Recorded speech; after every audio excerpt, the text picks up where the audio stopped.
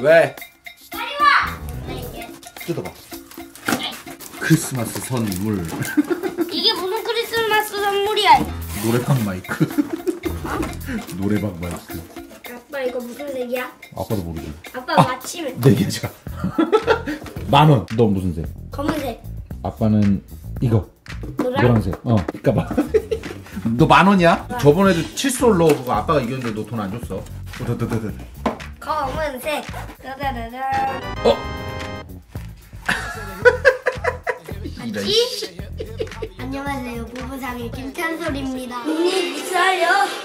언니 베베로 베베. 나팔 바지.